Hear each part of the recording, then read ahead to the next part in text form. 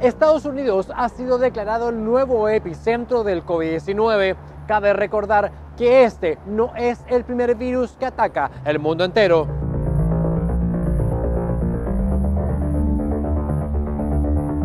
La gripe de 1918, que causó la muerte de más de 500 millones de personas, más que el número total de muertes de civiles y militares durante la Primera Guerra Mundial, se considera una de las pandemias más devastadoras de la historia.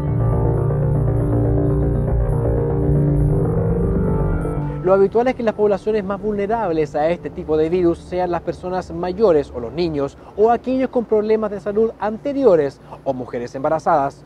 Las teorías sobre el extraño comportamiento de la pandemia de la gripe de 1918 son que las personas de edades avanzadas podían haber tenido anticuerpos de brotes anteriores y que el hacinamiento masivo de soldados durante la Primera Guerra Mundial, especialmente el transporte de tropas, fue un factor.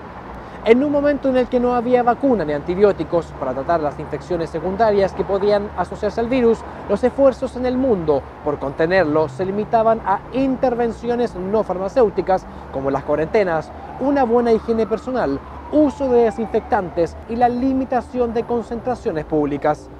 La humanidad vive una nueva crisis, fronteras cerradas, millones de contagiados y miles de muertos a nivel mundial la ciudad que nunca duerme, Nueva York, está casi completamente en silencio y lamentablemente aquí está muriendo una persona cada tres minutos. Muchos de estos cuerpos sin vida se encuentran en las afueras de los hospitales. Todo esto provocado por el coronavirus. Hace unos días ha llegado este refuerzo, un buque naval de mil camas y 12 quirófanos. Cabe destacar que este estará a disposición de quienes no tengan COVID-19 debido a que los hospitales de los cinco condados de la ciudad y del área estatal están a su capacidad máxima. Este buque, que es un USNS Comfort, es el sexto más grande del mundo. Ha llegado al muelle 90 de la ciudad de Nueva York y trae consigo una tripulación de 1.200 trabajadores sanitarios.